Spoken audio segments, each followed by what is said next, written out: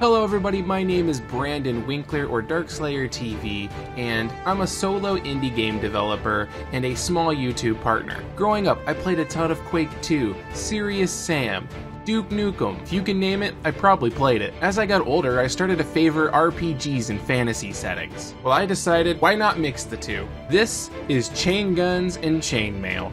Mow down armies of knights, rogues, mages, and undead with your arsenal of guns. However, to make this game as great as I can, I need more time and resources. To survive while I make my games, I'm working a full time job, not to mention running my YouTube channel, and the pay is not very good. So not only do I not have time, I don't have the money to buy assets I need.